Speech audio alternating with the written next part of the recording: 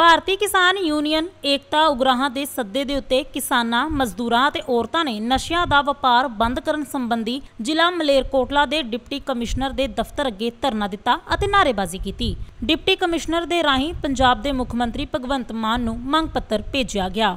ਇਸ ਮੌਕੇ ਕਿਸਾਨ ਆਗੂਆਂ ਨੇ ਪੱਤਰਕਾਰਾਂ ਦੇ ਨਾਲ ਗੱਲਬਾਤ ਕਰਦਿਆਂ ਕਿਹਾ ਕਿ ਨਸ਼ਿਆਂ ਉੱਤੇ ਕਾਬੂ ਪਾਉਣ ਦੇ ਲਈ ਅਸੀਂ ਪਿੰਡਾਂ ਦੇ ਵਿੱਚ ਵੀ ਕਮੇਟੀਆਂ ਬਣਾਈਆਂ ਨੇ ਜੋ ਨਸ਼ੇ ਦੇ ਸੁਦਾਗਰਾਂ ਨੂੰ ਕਾਬੂ ਕਰਨ ਦੇ ਵਿੱਚ ਮਦਦ ਕਰਨਗੀਆਂ।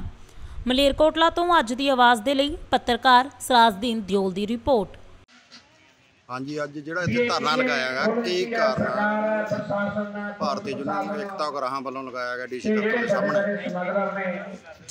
ਇਹ ਜੀ ਭਾਰਤੀ ਕਿਸਾਨ ਏਕਤਾ ਗਰਾਹਾਂ ਵੱਲੋਂ ਨਸ਼ਿਆਂ ਦੇ ਵਿਰੁੱਧ ਜੋ ਮੁਹਿੰਮ ਵਿੱਢੀ ਆ ਇਸ ਮੁਹਿੰਮ ਨੂੰ ਅੱਜ ਇਸ ਡੀਸੀ ਦਫ਼ਤਰਾਂ ਤੋਂ ਸ਼ੁਰੂ ਕੀਤਾ ਗਿਆ।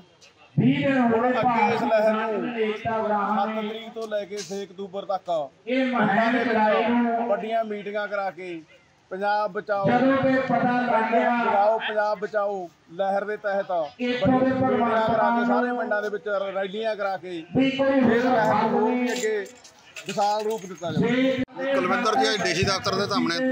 ਧਰਨਾ ਦੇ ਰਹੇ ਹੋ। ਇਹ ਕਿੱਥੇ ਕਿੱਥੇ ਦੇ ਰਹੇ ਨੇ ਅੱਜ ਪੂਰੇ ਪੰਜਾਬ ਦੇ ਵਿੱਚ? ਆ ਜਾਂ ਇੱਥੇ ਹੀ ਆ? ਪੂਰੇ ਪੰਜਾਬ ਦੇ ਵਿੱਚ 18 ਜ਼ਿਲ੍ਹਿਆਂ ਦੇ ਉੱਤੇ ਡੀਸੀ ਹੈੱਡਕੁਆਟਰ ਉੱਤੇ ਧਰਨਾ ਦਿੱਤਾ ਜਾ ਰਿਹਾ ਹੈ। ਤੇ ਲੋਕਾਂ ਨੂੰ ਜਾਗਰੂਕ ਕੀਤਾ ਜਾ ਰਿਹਾ ਹੈ।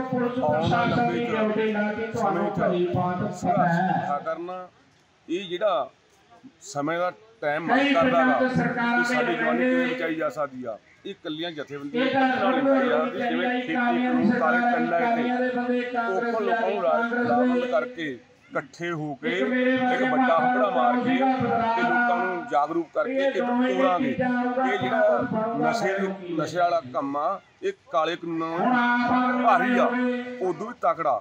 ਜੋ ਸਾਡੀ ਜਵਾਨੀ ਧੜਾ ਧੜ ਖਤਮ ਹੋ ਰਹੀ ਆ ਸਾਡੇ ਜਵਾਨੀ ਤੇ ਵੱਡਾ ਟੈਕ ਆ। ਇਹ ਕੱਲੀਆਂ ਸਰਕਾਰਾਂ ਪੰਜਾਬ ਸਰਕਾਰ ਦਾ ਨਹੀਂ ਨਾਲ ਸੈਂਟਰ ਸਰਕਾਰਾਂ ਦਾ ਵੀ ਹੱਥ ਹੈ ਇਹਦੇ ਵਿੱਚ। ਇਹ ਸਾਰੀਆਂ ਸਰਕਾਰਾਂ ਰਲੀਆਂ ਹੋਈਆਂ ਨੇ।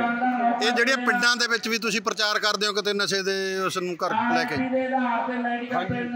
ਵੀ ਪਿੰਡਾਂ ਦੇ ਵਿੱਚ ਕੀ ਤੁਹਾਡੀ ਯੂਨੀਅਨ ਆ ਜਿਹੜੀ ਪ੍ਰਚਾਰ ਕਰ ਰਹੀ ਹੈ ਨਸ਼ਾ ਵਿਰੋਧੀ? ਬਹੁਤ ਵੱਡਾ ਲਾਭ ਬਣਦਾ ਅਸੀਂ ਪਹਿਲਾਂ ਇੱਕ 15 ਦਿਨਾਂ ਤੋਂ ਲਗਾਤਾਰ ਕਰਨ ਲੱਗੇ ਵੀ ਆਗੇ ਸੂਬਾ ਕਮੇਟੀ ਦੇ ਹੁਕਮਾਂ ਦੇ ਨਾਲ ਅਸੀਂ ਪਿੰਡਾਂ ਦੇ ਵਿੱਚ ਕਮੇਟੀ ਬਣਾ ਰਹੇ ਹਾਂ। ਉਹ ਕਮੇਟੀ ਦੀ ਮਦਦ ਵੀ ਕਰ ਰਹੇ ਹਾਂ। ਜਿਵੇਂ ਤੁਸੀਂ ਦੇਖਿਆ ਪਰਮਿੰਦਰ ਝੋਟੇ ਦੇ ਪਿੱਛੇ ਪਰਚਾ ਪਾਤਾ ਸੀ।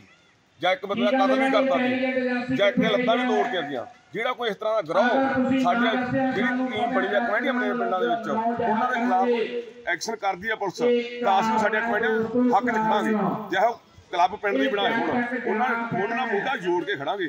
ਜਾਣੀ ਇਹ ਹੁਣ ਧੱਕਾ ਨਹੀਂ ਹੋਣ ਦਿੰਦੇ। ਜਿਵੇਂ ਸਰਕਾਰਾਂ ਅੱਗੇ ਧੱਕਾ ਕਰ ਜਾਂਦੇ ਨੇ ਪੁਲਿਸ ਦੇ ਰਾਹੀਂ ਪਰ ਹੁਣ ਇਹ ਸਰਕਾਰ ਨੂੰ ਧੱਕਾ ਨਹੀਂ ਕਰਨ ਦਿੰਦੇ। ਜਾਗਰੂਕ ਕਰਾਂਗੇ ਲੋਕਾਂ ਨੂੰ।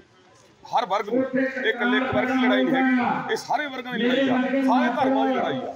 ਇਹ ਕਿਉਂ ਜਵਾਨੀ ਨੂੰ ਇੱਕ ਦੇਖ ਕੇ ਨਹੀਂ ਮਾਰ ਕਰ ਦਈਏ ਸਿੱਖਾਂ ਦੇ ਮੁੰਡੇ ਦੇ ਕਰਨਾ ਜਾਂ ਮੁਸਲਮਾਨਾਂ ਦੇ ਮੁੰਡੇ ਦੇ ਕਰਨਾ ਹਿੰਦੂਆਂ ਦੇ ਮੁੰਡੇ ਦੇ ਕਰਨਾ ਇਹ ਸਾਰੇ ਧਰਮਾਂ ਦੀ ਆ ਸਾਰੇ ਕਿਰਤੀ ਲੋਕਾਂ ਨੂੰ ਲੈਂਦੀ ਆ। ਅਗਲਾ ਸਟੈਪ ਹੁਣ ਕੀ ਹੈਗਾ? ਕੀ ਡੀਸੀ ਦਫ਼ਤਰ ਨੂੰ ਕੀ ਕਰ ਅੱਜ ਡੀ ਸਾਹਿਬ ਨੂੰ ਮੰਗ ਪੱਤਰ ਦੇ ਕੇ ਸ਼ੁਰੂ ਕਰਤਾ ਕੰਮ। ਤੇ ਆਉਣ ਵਾਲੇ ਸਮੇਂ 'ਚ ਅਸੀਂ ਐਲਾਨ ਕਰਾਂਗੇ ਸਟੇਜ ਤੋਂ ਵੀ ਕਿਹੜੇ ਕਿਹੜੇ ਪ੍ਰੋਗਰਾਮ ਕਿਵੇਂ ਦੇ